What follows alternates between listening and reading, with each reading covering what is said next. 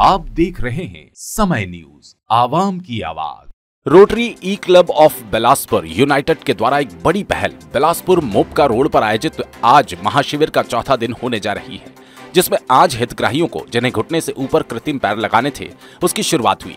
शिविर में लगभग सौ लोगों को घुटने के नीचे के पैर लग चुके थे। आज शिविर में रोटरी डिस्ट्रिक्ट 3261 के गवर्नर श्री शशांक रस्तोगी मुख्य अतिथि के तौर पर शामिल हुए और शिविर में कृत्रिम पैरों के वर्कशॉप का भ्रमण किया। अपने उद्बोधन में उन्होंने कहा, रोटरी क्लब यूनाइटेड ने एक मील का पत्थर रख दिया है। अब अन्य संस्थाओं को भी ऐसे कार्यों के लिए आगे आना है। उन्होंने कहा, कोई भी दिव्यांग, यदि कौशल विकास का प्रशिक्षण लेना चाहे तो वे उसकी व्यवस्था निःशुल्क कर देंगे। धमतरी से आए रोटरी डिस्ट्रिक्ट सचिव अमित जायसवाल ने कार्यों की भूरी भूरी प्रशंसा की। मंच पर आसीन doctor Vinay Pathak, Manoj Jain, doctor R Sharma, Sanjay Dubey, Sanjay Mittal, Navdeep Arora सभी ने क्लब को हर संभव मदद भविष्य में देने का आश्वासन दिया। उल्लेखनीय है कि ये महाशिविर सदस्यों ने स्वयं के खर्चे से आयोजित किया। इसमें किसी अन्य से आर्थिक सहयोग नहीं लिया गया।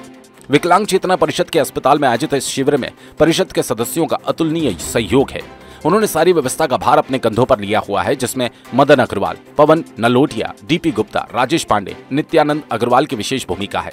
वरिष्ठ रोटेरियन गुरमीत अरोड़ा ने बताया, क्लब शीघ्र ही ऐसी सेवा के और प्रयास का उदाहरण प्रस्तुत करेगा। रोटेरियन संजय दुआ ने अनेक दिव्यांगों को रोज़गार दिलाने का प्रयास शुरू किया है। मंच संचालन सचिव किरण पाल चावला ने और धन्यवाद ज्ञापन अध्यक्ष पीयूष गुप्ता ने किया।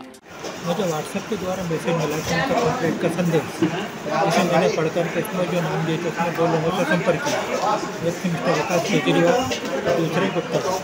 इनसे उन पर चर्चा हुई कि उन्होंने मुझे जो डॉक्यूमेंट भेजने के लिए कहा, जिससे मेरा पेड़ कटा हुआ फ़ोटो और आधार कार्ड और मोबाइल नंबर। ये सब चीज़ें मैंने इनको बीस जून को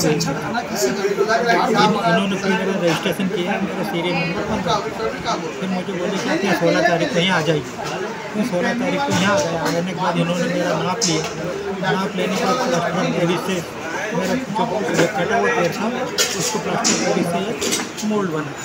उसको मोल्ड बना के, उसको फिर प्लास्टिक करी धर के पूरा मॉडल बना उसके ऊपर फिर प्लास्टिक की लेयर चढ़ा करके और प्लास्टिक का सॉकेट बनाया, मेरे कटोरे उसके बाद फिर नीचे मशीन लगा करके मुझे पेड़ ट्रायल के लिए करने के लिए दिया। इस पेड़ की विशेषता ये है कि ढाई से तीन किलो के बीच इसका वज़न है और इस पेड़ से पालथी मार के बैठ सकते हैं, वज़न में होता है। इसके पहले में जो पूरा पेड़ का उपयोग कर था पूरा लकड़ी का बना था तो लगभग आठ किलो का था वजनदार था। ये नई टेक्नोलॉजी में अच्छा है। और ये रोटरी क्लब का बहुत अच्छा और सराहनीय प्रयास है। मैं इसके सबकी प्रशंसा करता हूँ।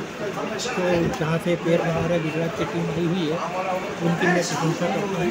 बहुत अच्छा प्रयास मैं रोटरी ही क्लब ऑफ़ बिलासपुर का पास हम लोग ये कार्यक्रम पिछले छः महीने से इसके लिए प्लान कर रहे थे। जब हमने देखा कि पहले कृत्रिम हाथ लगे, उसके बाद हमारे दिमाग में सभी लोगों के मन में बात आई। क्यों ना हम जिनके पाँव नहीं हैं, उनकी सेवा करें।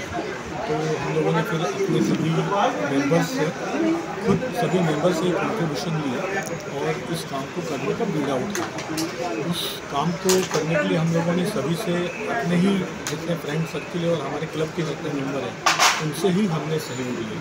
हमने बाहर से कोई सहयोग नहीं लिया, ना हमें ज़रूरत पड़ी। और हम लोगों ने ये सेवा कार्य कर पाया और हम बहुत ही ज़्यादा अपने आप को संतुष्ट महसूस कर रहे हैं।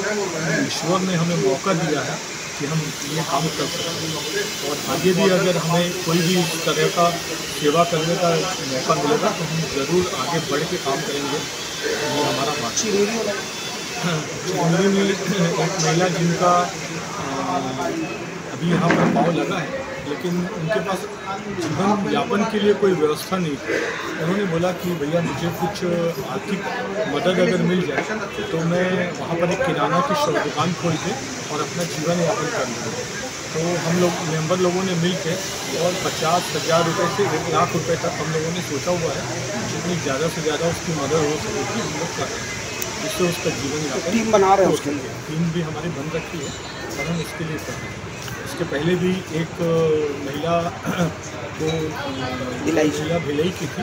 उनको हमारे ग्रुप के हमारे क्लब के मेंबर विकास केजरीवाल जी ने अपने एक परिचित को बोल के भिलई में उनको नौकरी दी। वो इसके बाद जाकर वहाँ नौकरी कर आपका नाम काम कर रहे हैं कि उनको उनको आगे चल के जो विकलांग हैं या जो किसी भी प्रकार से इस कार्य को आगे जीवन यापन नहीं कर पाएँगे, उनको हम किसी भी माध्यम से जीवन यापन की, उनकी रोज़गार की हम व्यवस्था कर सकें, ये भी हमारा कर्तव्य मानते हैं हम इस कार्य की बिलासपुर से राकेश खरे की रिपोर्ट।